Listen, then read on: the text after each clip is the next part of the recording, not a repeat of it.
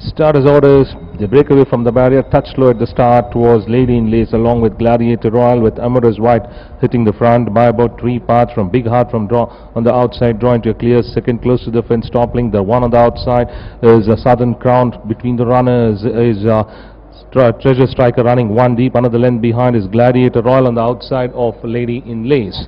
And back to the leader crossing the 1000, Amorous White leads by about uh, three parts in front of Big Heart in pursuit.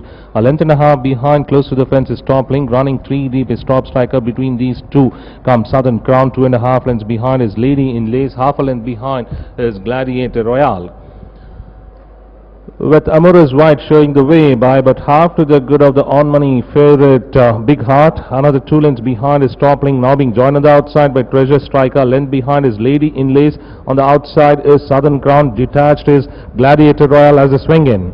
Amorous White by about three parts in front of Big Heart comes with a big run on the outside. Another two and a half to three lengths behind is Lady in Lace, Toppling, Treasure Striker, followed by Southern Crown on the very wide outside.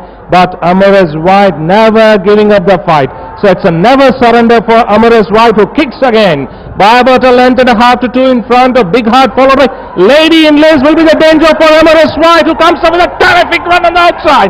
And Lady in Lace gets the honor in the fourth race, beating Amorous White on the post by half a length. They followed then by Big Heart, then came Toppling.